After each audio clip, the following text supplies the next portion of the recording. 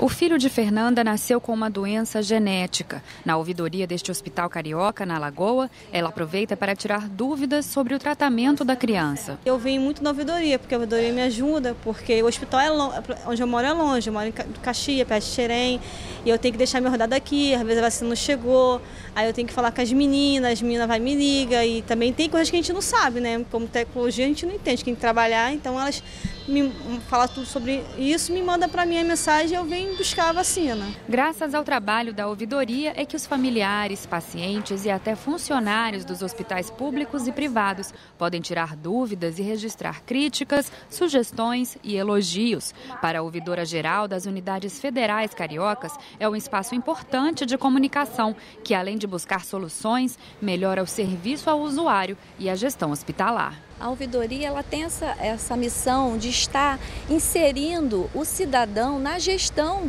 das unidades, porque através da sua percepção, através do que ele está informando, seja ele um elogio, seja ele uma crítica, seja uma reclamação, é uma informação útil para que os gestores possam estar apurando de forma mais qualificada em que fazer e em que se ter as ações de melhoria. No ano passado, a Ouvidoria Geral do Departamento de Gestão Hospitalar, responsável pelas seis unidades de saúde federais aqui do Rio de Janeiro, recebeu quase 8 mil demandas de pacientes do Sistema Único de Saúde.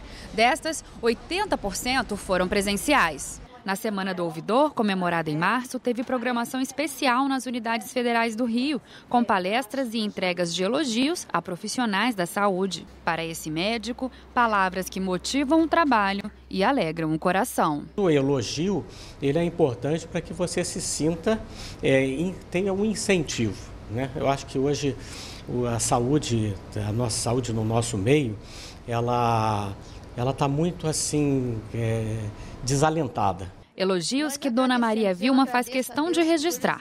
Demanda recebida com gosto pela ouvidoria. Vários médicos, as pessoas daqui, os enfermeiros, tratam a gente como a gente merece, com educação, com amor.